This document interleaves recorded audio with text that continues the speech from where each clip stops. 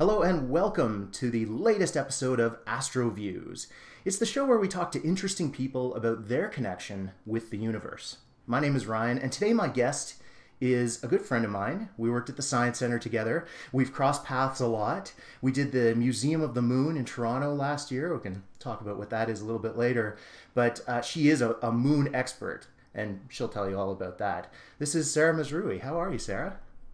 Hi, Ryan. I'm good. Thanks for having me on your show. Well, I'm glad you could join me today. I'm, I'm really excited to talk to um, people with very diverse backgrounds in astronomy. Now, you are a, a PhD uh, planetary scientist, um, and so we're you're one of the pure astronomers that we're actually talking to, which is really exciting um, for me because I can really kind of let loose with the space questions, right? right. I don't know. Astronomers sometimes don't like to call me an astronomer because I don't study things that are far enough. So I'm like, I'm always like, planetary science, close to Earth, closer to Earth. yeah, I had another guest recently who was talking a lot about the moon. And so I would, first of all, totally disagree with that sentiment. I think the moon is pretty far away, as you know. Um, and, uh, you know, people talk about the moon because it's the thing that's there, right? It's the thing that we see, and that's that's it was that's what this uh, previous guest was saying too, is that we can all experience the moon, we can all see it. But again, I'll let you talk a bit more about that. So first of all, why don't you introduce yourself? Tell us um, who you are, what you what you do in astronomy and space. That would be wonderful. Sure. Um, so I wear a few different hats. I'm a planetary scientist by training. I'm also a science communicator and an educator. Um, and I work in different fields. So I, as you mentioned, I work as a host at the Ontario Science Center. So I get to do some planetarium shows. I get to interact with the visitors, talk about all the fun stuff, not just related to space, but sort of all of science.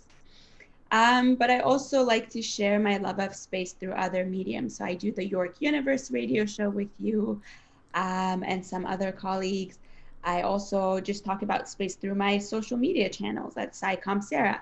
So I just whatever fun stuff that's happening, you know, there's a comet up there right now. Just take a picture and sort of give people a heads up of go and check this out. Um, but I also work in the education development field, thinking about uh, best practices of how to incorporate teaching into, um, you know, higher education, mostly in university levels. Uh, but yeah, a little bit of education, a little bit of science, a little bit of talking about science. So yeah. you really do seem to do a little bit of everything. It's it's really um, inspiring because it's hard. I think it's really hard to a focus on so many different aspects within science and education and outreach. Yet you do it all very very well. Like I'm always seeing something. Oh, Sara's doing this this talk over here or, Sara's doing this thing or any events that I end up going to, I inevitably see you as being part of it, which is really fun. It's nice that we have this this community uh, within the Greater Toronto area of, of space people, space enthusiasts, and and I'm also trying to connect more with all of you lovely people because um, that's it's a lot of fun to talk to you about your experiences. And so, um, you know, you and I, I think, uh, have aside from crossing paths at the Science Center, um, we recently did the the Museum of the Moon. That well, I say recently. It was almost a year ago now. Um, before all the craziness happened in the last little bit, but um, could you could you talk a little bit about that? Um, yeah, so Museum of the Moon was all about the moon. At first, I was a little hesitant about it because there was going to be this giant moon globe uh, hanging right under the Gardiner in Toronto. And I thought, oh my God, this is going to be another rubber ducky thing where it's just going to be a photo op and there's going to be, you know, nothing about the moon really. But um, I loved what it actually ended up being. So there was a lot of conversation about the moon. Um, you know, I gave a talk just talking about moon exploration, you know, the Apollo era, where we're headed next. Um, you know, you gave a talk about, well, what do we see in the sky right now? As you're out here, you know, checking out this giant moon hanging out, hanging around. Um, they had some meditation. Um, I think there was like a little bit of something for everyone, something that someone could relate to, and the look of it itself was was pretty good because you don't get um, like the skies from downtown Toronto are not the best for uh, for astronomy. I mean, you you do see the moon, but just to you know lay back on the grass and see this giant moon hanging there um, it was a lot of fun and just to be able to talk to people about the moon yeah you're looking at that but what are like all these circles that you're looking uh, and seeing on the moon and then getting some you know science behind just this giant moon globe that was uh, that was hanging there. It was really nice that it had a scientific feel to it you know and, I, and what blew me away was how many thousands of people showed up just to see this giant replica. And i mean they originally they called it kind of an art and science installation, right? It was it was very much this this artistic thing. As you said, they had the meditation, um, but I, I, felt that the science of it was really well represented with having speakers like yourself uh, there to actually talk about the experts talk mm-hmm. about the science of the moon and why it's fascinating and why it's interesting beyond just being this crazy thing that we look at in the sky. Um, so what now you you do a lot of things in astronomy and space a lot of communication. Where did it all begin? What led you down this path originally? Were you very young? Did you start a little bit later in life? Um, I guess my love of astronomy, you know, there are people that sort of figure out what they want to study or what they're interested in later on in life. But I guess for me, it was always space. There was like, it was, there was just nothing else. It was always space um, you know, just started with seeing Comet Hale Bopp, this like super bright thing with a tail in the middle of the sky, um, or seeing solar eclipses and all these events and just seeing, you know, it's not things that you experience every day. Um, a lot of it, people are like, oh, it's once in a lifetime, or, you know, this won't happen for another 30 years. Um, and the fact that there was so much unknown, I felt like, like I always wanted to make a discovery. I was obsessed with like, you know, you read all these history books or science books and, you know, you have to memorize all these names. And I'm like, I want people to start memorizing my name. I want to make a big discovery. Um, or I wanted to be an astronaut. You know, when I was in high school, I actually thought, you know, in grade like nine, 10, I thought that, you know, you would go to university and there was a program to become an astronaut. So when we had meetings with like the guidance counselors, um, they're like, okay, so what do you want to do so that we can plan your courses for grade 11 and 12? And I'm like, astronaut school. And she like laughed. And I'm like, that's that's kind of rude. Like, why are you laughing? I'm serious. And she's like, no, like there's no such a thing as an astronaut school. So I was in grade 10 when I found out there's no such thing as an astronaut school. Um, and then she told me about like astronomy and space and engineering and um, sort of all the other fields that are sort of related to space that could lead you down a path of maybe becoming an astronaut. Um, so that's where that's where it started. I'm like, okay, cool. York University has a space science program. It's not astronomy. It's not space engineering. It's kind of unique. Let me go into that. Um, and that's sort of where it started. I and I ended up studying studying space science. Um, actually, while I was in grade 12, I did a co-op at uh, York University Observatory, um, and that was really good for me because I got to talk to students that were at different levels. So, you know, first years, fourth years, uh, grad students, professors. So it gave me a better picture of what studying astronomy in space could look like in reality. Um, and that's where my path of studying stuff happened. Uh, you mentioned like I'm always giving a talk here and a talk there. Um, when I started as a co op student at the observatory at York, or even in my first year, um, I loved being at the observatory. I loved looking through the telescope and finding objects. But a part of that was also giving presentations to the public, you know, talking to the public about what they were seeing. Um, or if it was a rainy day, this was my nightmare. If it was a rainy night, we had to give a slideshow presentation. So this is back with like the actual like slides, not even PowerPoint presentations. But you would have to stand in front of the room and then talk about stuff. And I wouldn't. I would always like fake sick, go to the bathroom and hide for as long as I could because I hated talking in front of people. Um, but luckily, I worked with some great people that just, you know, pushed me to do a little bit at a time. Um, and just seeing how excited people would get about learning about things and asking questions that motivated me to sort of overcome my fears and just practice and now you know you can't stop me from talking about space so i'll stop here now I was going to say, you do seem very confident in front of a crowd, in front of a, a, group of people. It's important to know that that doesn't come naturally, right? That we all kind of have that that starting thing. So I'm, I'm really impressed that you were able to overcome that shyness and really and and continue to grow so much. Like you're, I would say you're an excellent presenter now, uh, and I think it's it's almost good in a way to have that trial by fire when you're a little bit younger, when you're starting out. Um, I think that's what York Universe Radio is very good for. I think that's what the Observatory is good for.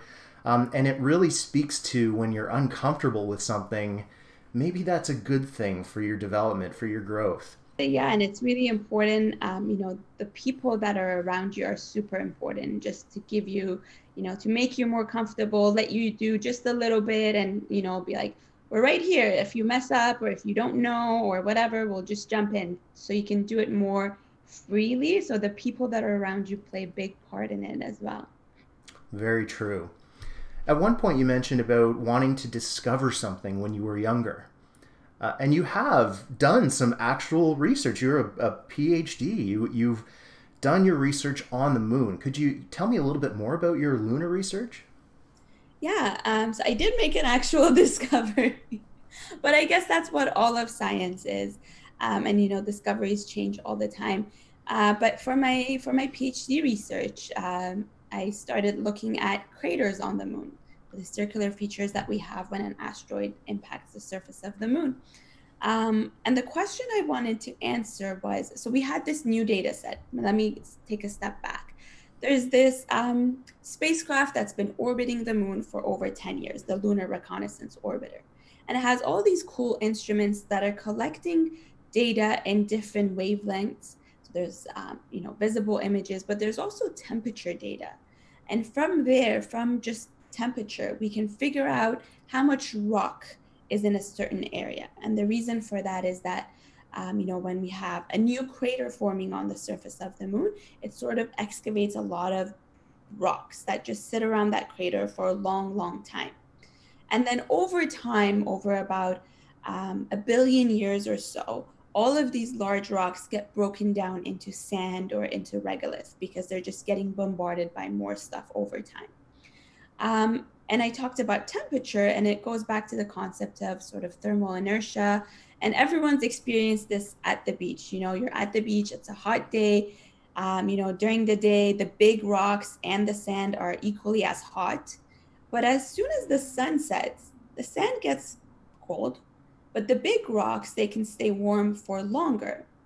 And we use that concept. So my supervisor Rebecca Ghent had come up with this idea that we can use that as a proxy of trying to determine ages for craters. So if they have more big rocks around them, so they look warmer or they have they look pretty hot in the nighttime temperature, they look really rocky, it means that they're fresher, younger craters. But if you don't see anything around them anymore, it means that, well, you know, they're over a billion years old. So using that relationship, I then started to look at the entire moon because we have data from all around the moon from this spacecraft to figure out how old these um, young craters were. So anything younger than about a billion years was sort of the limit of our, of our data. So first thing was, okay, let's map all of these craters, see where they are, and then get ages for them. And then there's been this idea that um, the bombardment rate on the moon has been fairly constant in the past billion years or so. So there's the giant impact hypothesis that says, you know, four billion years ago, three and a half billion years ago, there was a lot of bombardment. So that's when the Earth and the Moon were just forming at the beginning of their formation. But after that original spike or peak, everything started to calm down and things have been happening at a constant rate. Um, and when I looked at that data, we saw sort of a jump or a peak at about 400, 300 million years ago. So it wasn't all constant, there was actually a peak we're like, hmm, that's interesting. Okay, so this goes against previous ideas. And then we thought, okay, for fun, let's compare it to craters on the Earth because the Earth is, the moon is such a close neighbor to us that whatever that's happened on the moon must have happened on the Earth as well. And on the Earth, there's been all these events, you know, we hear about like dinosaur extinctions or going from, you know, single cells to multi cells. And it doesn't mean that um, an asteroid impact has necessarily caused the other one. It just means that it must have developed enough changes in the environment that has led to something pretty big and significant. So we started to look at the Earth, and interestingly enough, we see the same footprint on the Earth as well. I mean, we were expecting to see it, but we thought mm, maybe not, and that was that was really cool to see that the two really did match, and to be able to say, oh well, things haven't been constant. It has changed in the past 400 million years. Well, what could this mean? You know, we, we're starting to learn more, and that gets us to ask more questions. And that's what I love about discoveries is that once you learn something new, then there's you know 10 other questions that come from there and it's sort of like just going down a rabbit hole of trying to figure out all these things that you didn't even think about before Were, were you excited when the data matched up? Like when you saw the that data of the Earth matching up exactly, well, not exactly, but close enough to the the lunar timeline. Did that kind of give you that like, holy smokes, we came, we actually found something really amazing here? Yeah. So, um, I mean, when the moon stuff was cool enough that we're like, and, and in in an academic setting, you know, you get some you get some results, you check it, and you're like, okay, we can now publish it and tell the public about it.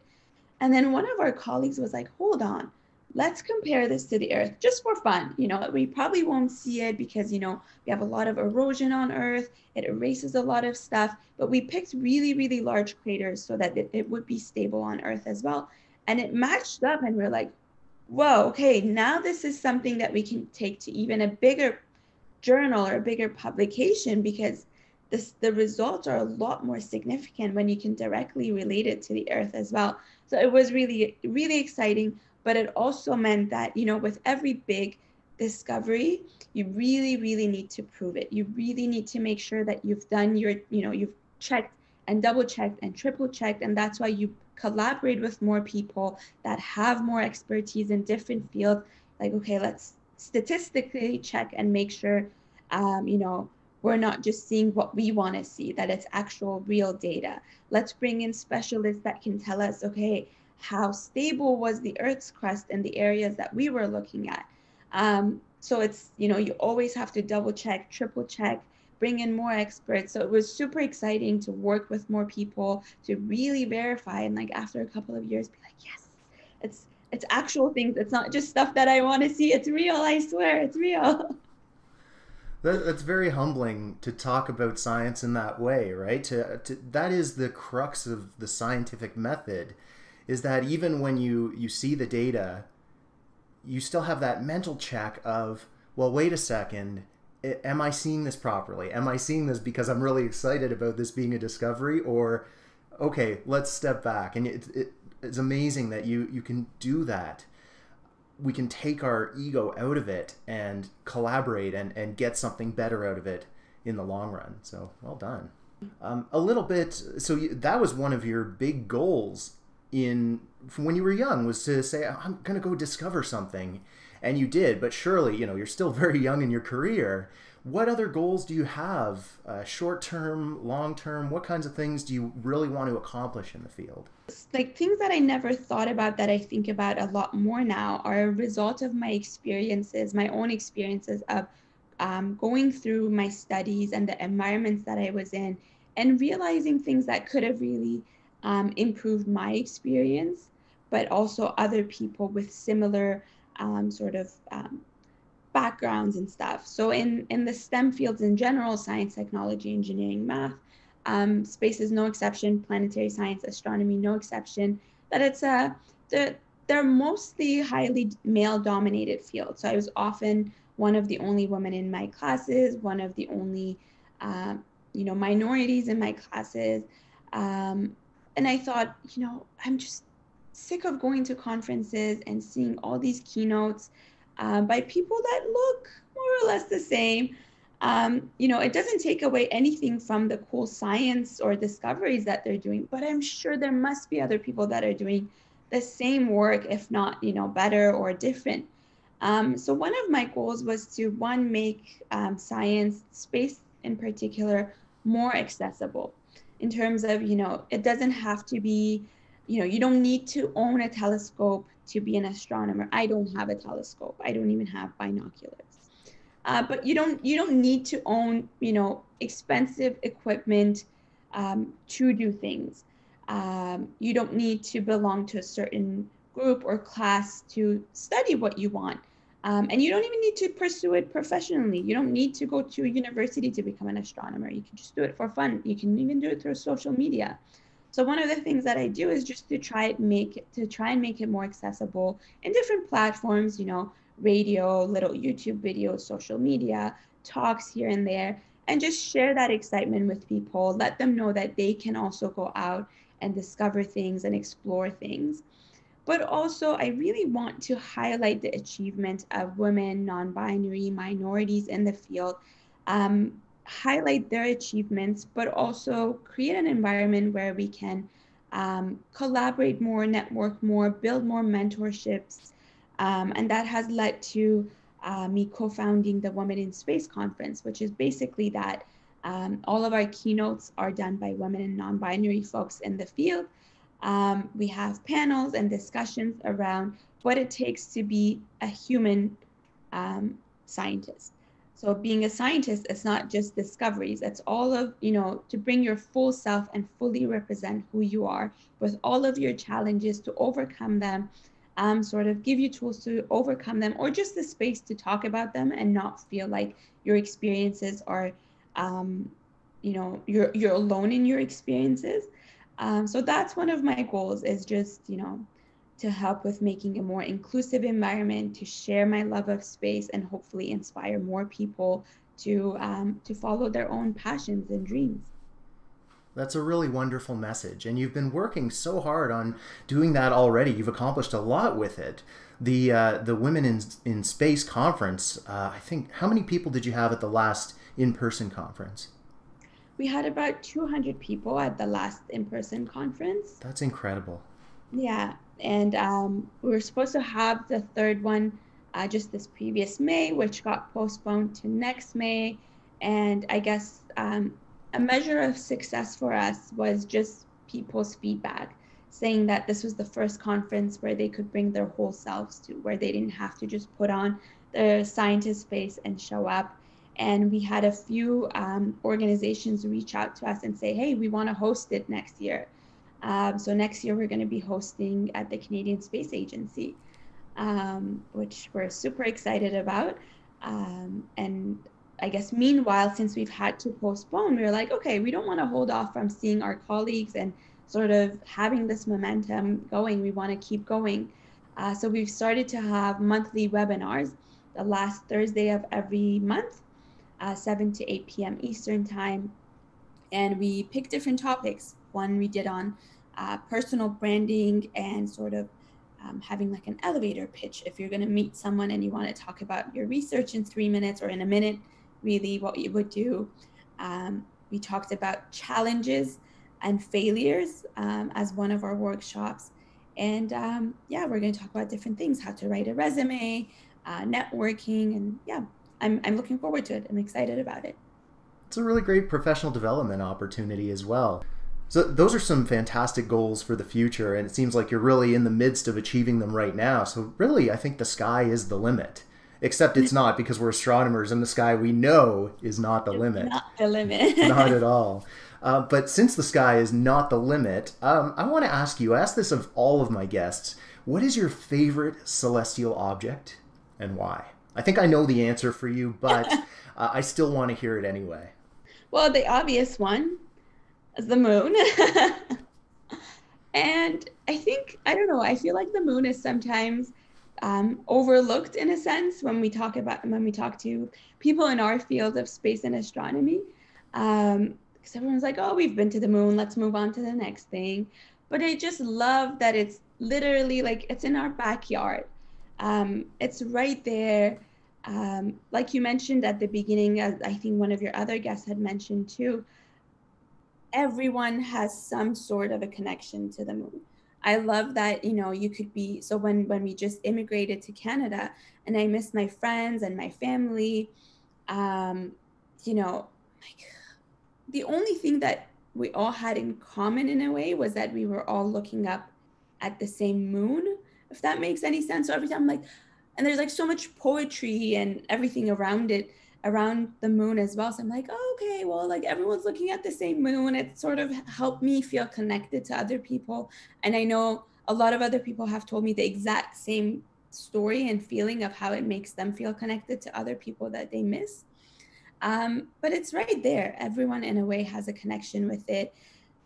But it's also we've been there. We have a lot of data from it. But our questions are not all answered. There's still so many questions um, that we need to answer. And the more we learn about the moon the more we learn about the earth's past. Uh, i always say this. I always say the moon is a time capsule for stuff that has happened on the earth. It has no you know atmosphere no tectonic activity. It's it's preserved everything that's happened to us both. Um, so I think it's pretty cool. And with all of these talks about, about going to Mars and beyond, you know, I, I think we need to test drive everything on the moon. So that's why I think the moon is pretty awesome. Couldn't have asked for a better answer. That was wonderful. Um, I love the, I love the time capsule analogy too. I think that's so so cool. Um, that said, so we're talking about the moon and we're talking about Mars. It's been a bit of a hot topic in the past couple years because of the Artemis program. When do you think people will actually walk on the moon again? And when do you think the first person will walk on Mars? Hmm. So the Artemis program, I mean, they keep saying the dates keep shifting a little bit, but I'm optimistic that if the funding stays in place, um, that we could have humans back on the surface of the moon by, you know, I think personally 2025 the latest, um, but probably sooner.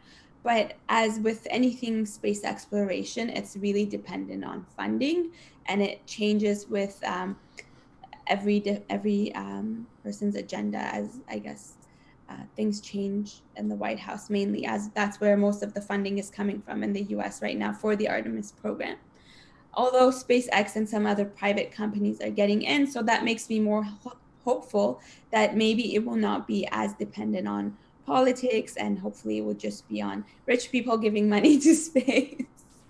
so I think 2025 having the next humans on the moon. We've been there. It's only a matter of let's go to a new place. Now we know. Before it was more like let's test the technology of just um, getting on the moon, but now we've really identified places that could really help us answer valuable questions.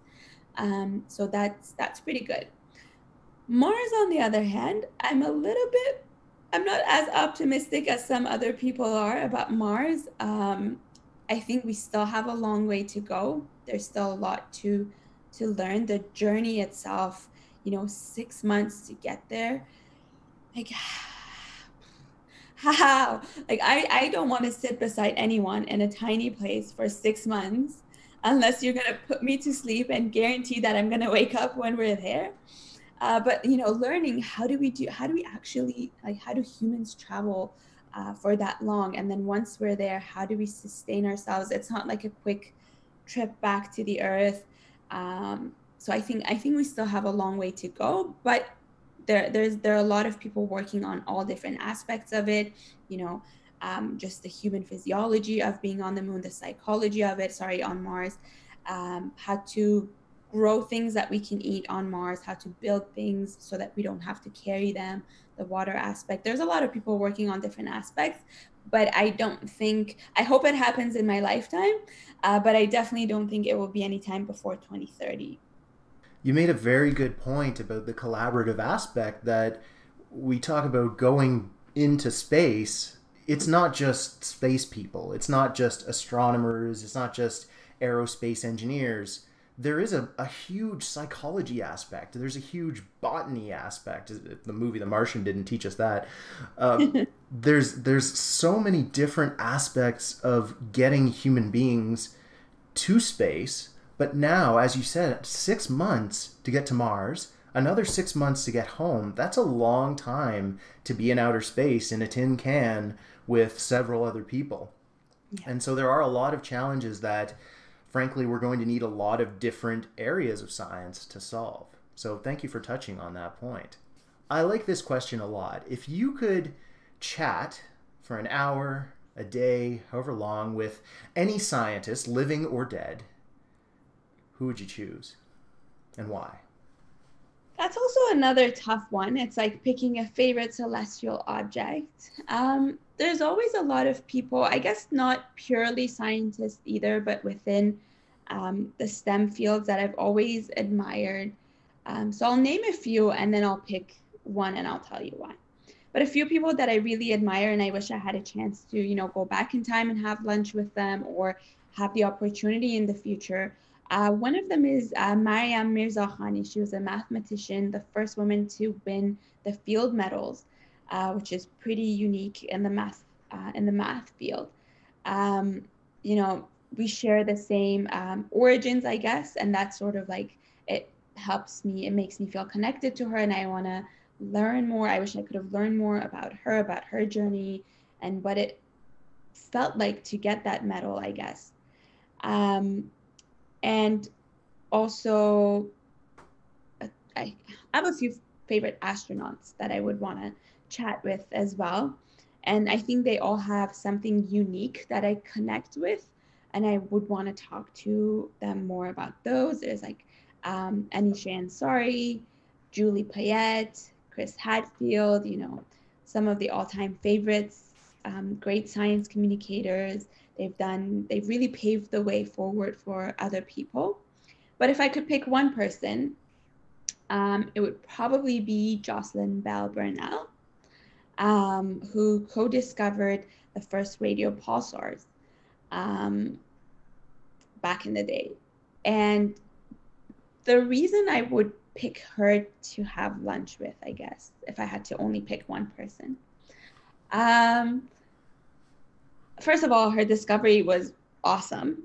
Um, it, it's like my discovery is nowhere near her discovery, so hers is pretty brilliant. Um, but I would want to learn more about um, how she came up with that discovery, how like what it felt like to be um, in her shoes at a time. But also, she didn't win the Nobel Prize for it although she was the one that really discovered it or co-discovered it. It went to her supervisor. Um, and we, we talked a little bit, we touched on it a little bit about the inclusivity and diversity in science and astronomy. Um, and I want to know how she overcame that. I feel like if that had happened to me, um, I would have such a hard time overcoming it. You know, now I would take onto Twitter and write about it and all of that stuff um, and get some justice. But before, like before the times of social media, before it was even, you know, you know, was it even? Did she even feel like she could speak up about it? Um, was it just the norm that supervisors would sort of get all the recognition for it? Um, what would she do differently if she had made that discovery today?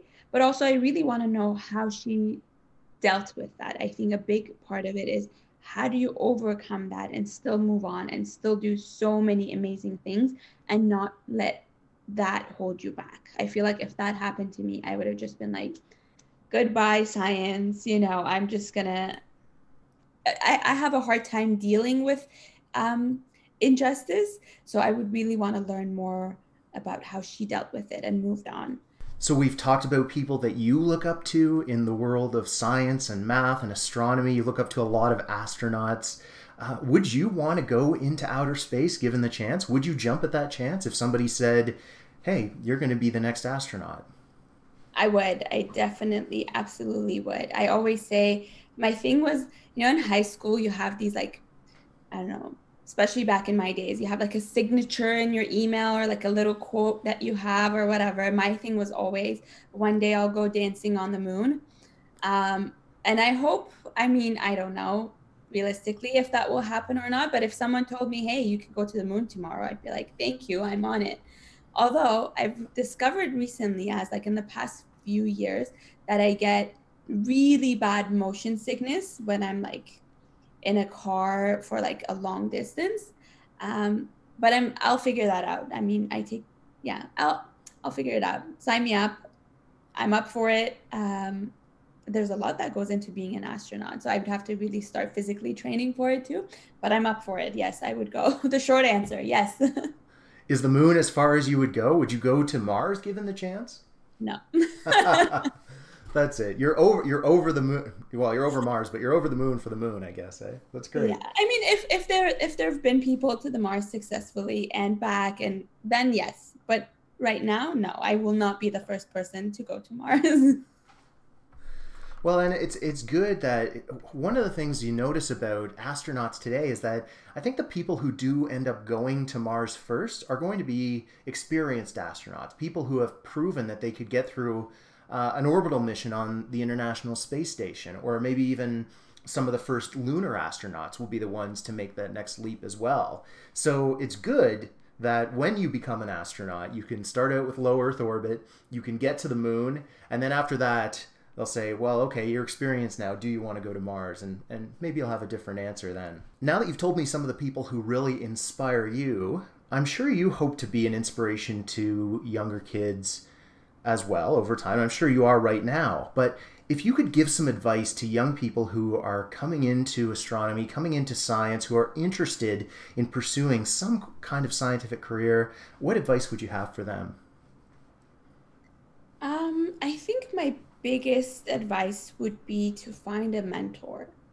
Um, I was fortunate enough to have people that I could go to um, to you know get some advice, to ask some questions, especially at an undergraduate level. But if you're pursuing it higher, um, I think it's really important to find people um, that have maybe had similar experiences as you. So if you um, run into a challenge or a problem, um, you're probably not the first one and you're not the only one that this has happened to. So don't internalize it um, and try to find a mentor that will help you get through that process, whether it's, you know, in an academic way or in a more more professional way. Finding a mentor, I think it's is really important. And another thing is um, don't let other people define what you can and cannot do. There will you will come across a lot of people that will um, you know tell you what you can and cannot do or what you're good at and what you're not good at. And that that's another thing. I don't think there's such a thing as being good at something. I failed grade 12 chemistry. Like i had to stay back another semester and retake a bunch of courses so that i could go to university um, and that doesn't mean that I'm not good at chemistry. I was just not in a good headspace. When I took first year chemistry at university, I studied, I did my homework, um, I got extra help when I needed to, and I got an A in the course. Like it does not define who you are. Um, it's just about the amount of work that you put in, the amount of effort that you put in, and also that it's okay to change your mind. You might go into a program and then realize it's not for me, or I don't really enjoy it. And last thing, something that I wish um, someone had told me, I kind of knew it, but I didn't take it as seriously, was to really think about what I want to do when I graduate from a program, if I'm like going to university or college, and looking into the job landscape, figuring out how many jobs are there in that field realistically what are the other types of jobs that I could do with that degree and would I be happy doing them? And if not, just to take a step back, reevaluate, and realize that some things can stay as hobbies, some things I can do on the side, um, and to really think about it, really think about what you want to do and, um, and go for it. Change your mind, practice, talk to other people. That's excellent advice. As somebody who's in the scientific community, what do you think is going to be the next big discovery in astronomy and space in the next, let's say, 10 years? That's a really good question. Honestly, I don't know if I have an answer to that. I've I always think about that. Um, and there's so many ways that it can go, but I think it's probably something to do with space exploration and Mars, um, just based on our obsession with it. But there's, I mean, we have good reason to be obsessed with it. We have so many rovers and orbiters that are getting launched just this month, like July and August of 2020. Um, and it's because we want to learn more. So we want to be sure that, you know, was there life on Mars? Can there be life on Mars? What is it that could have had could have had life on Mars? And I think whatever we learn from the next set of um, Mars exploration missions that we have, um, is going to really pave the way for the next set of for our sort of next step beyond Mars and discovery. I think what we learned from these set of Mars missions is going to really um, give us a direction of where to go or where to start digging next. You might have hinted at this just a little bit, but what do you think about life in the universe? Life in the universe. I I find it odd that we would be the only sort of life in the universe. I mean, we've started to, um, you know, think about microbial life that could live in other places, but even intelligent life, I don't know. I think there's definitely life of some sort out there, as we've sort of proven already in, within places in our solar system. But I find it hard to believe that we're the only living beings here. Like the Earth is pretty unique, but we're only scratching at the surface of finding exoplanets, planets around other stars. Like when I was in high school, exoplanets were not a thing really. Um, so I think that's probably another big thing in like the next 10 years of discoveries as well is the more we're learning about all these other planets, could there be life? I definitely think we're up for a nice surprise. oh, that's great. Thank you, Sara, for coming on to Astroviews.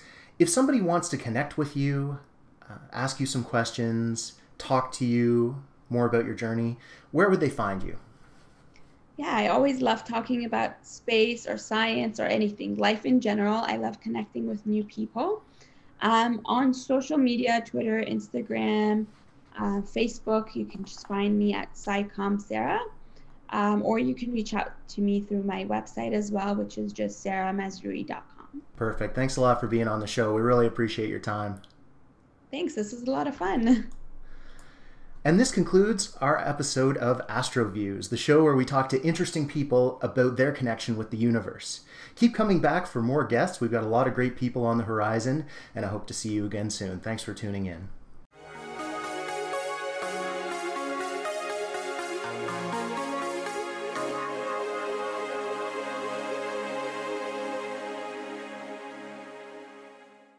People think that it can be very difficult to do astronomy without a telescope or without binoculars or without this expensive equipment, but really all you need is your eyes and your curious mind. And to help that, Astronomy in Action has come up with our own Space Club. And this isn't a space club where you need a telescope or binoculars or to stay up all night. In partnership with Slooh.com, we give you access to remote telescopes all over the world so that when you feel the time is right, you can pop online and look through one of their huge telescopes that they have in these perfectly clear dark sky sites around the world. You can take your own images, learn about different objects through quests and challenges, and have a lot of fun as part of our community. If you'd like to join, go to astronomyinaction.com slash spaceclub. We hope to see you there.